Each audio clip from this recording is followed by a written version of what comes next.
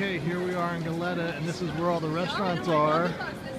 Um, the Galata Tower is right over there. About a half a mile walk. Beautiful little area. Very crowded at night. They even have a Starbucks. It is beautiful. There's the Swedish Embassy right over there.